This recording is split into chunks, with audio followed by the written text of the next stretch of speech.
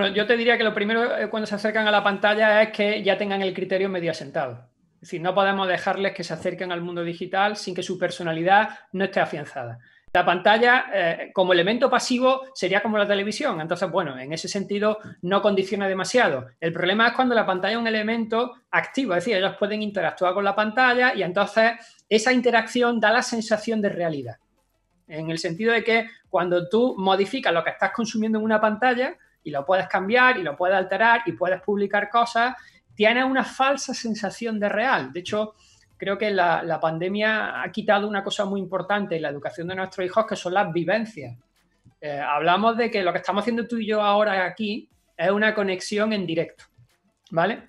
Pero tenemos la sensación de que estamos comunicándonos y que estamos teniendo eh, una, relación directa a través de la cámara, pero nos está mediando, en mi caso, esta pantalla y otra pantalla. Hay algo entre medias de nosotros. Pero si tú acostumbras a que ese elemento que está entre medias desaparezca porque lo has interiorizado mucho, puedes pensar que lo que estás consumiendo y haciendo a través de la pantalla es real cuando en el fondo están mediatizados. Es decir, lo que funciona como elemento básico en la construcción de la personalidad de nuestro hijo es la vivencia. Y la vivencia solo se hace en vivo y en directo. Pero en vivo, no se nos puede olvidar el en vivo. Siempre hablamos de en directo. No, es que estoy hablando con Menganito, escribiendo un WhatsApp y le digo, no, estás hablando con Menganito, no, le estás escribiendo un WhatsApp. Bueno, me estoy comunicando con él o estoy compartiendo con mis seguidores en Instagram. Mi adolescente ya de 15 años habla de compartir no es que estoy compartiendo eh, lo, que estoy haciendo y tal en Instagram. Y yo le digo, no, perdona, vamos a ver. Compartir es complicado. ¿En qué sentido es complicado? Pues porque compartir significa que la tarta que yo tengo aquí delante y que me estoy comiendo, me la como contigo. Y comparto mi tarta y mi trozo de tarta contigo sin ningún problema. Y eso sería lo básico. Es decir, utilizar la palabra compartir significa que estamos en vivo y en directo teniendo una vivencia.